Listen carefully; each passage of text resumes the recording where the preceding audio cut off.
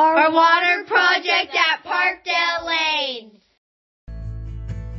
We all knew that water was important because every living thing needs water to live. We wouldn't survive without it. We also knew that certain places around the world, like remote villages in Africa, do not have access to clean water. What we didn't realize was that it is very complicated for clean water to make it to our tap. We played a couple of games to simulate the path water takes from the source to our faucets and found out that it is a very long journey. We also did water testing on samples of different types of water to see what contaminants we could find. We were surprised that, uh, that untreated water from Lake Hodges is actually really clean.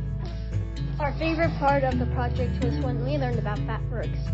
We were shocked to find out that flushable wipes are not flushable. We also learned that things like bacon grease should not be poured down the drain. Hi, I'm Grace, and this my class has been doing a project about um, how wipes and other debris clogs these pipes, and this is one of the examples that we have. It's like these are some white things say that they're flushable, but they're actually not, and this is what it looks like when they get clogged in the pipe.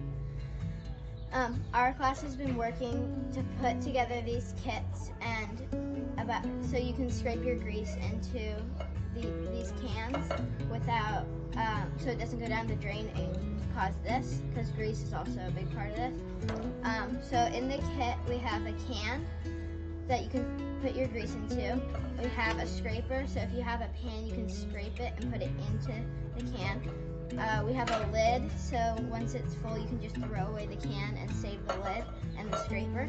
And then we also have these um, like instructions about what uh, about how the city pipes are getting clogged and how you can use this kit properly.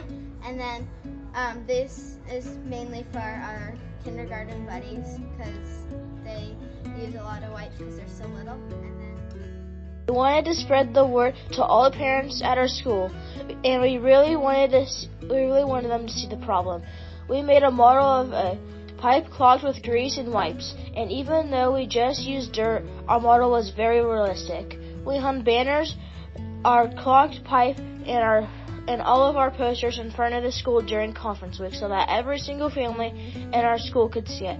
I think our projects worked to raise awareness because we were able to tell adults about this problem.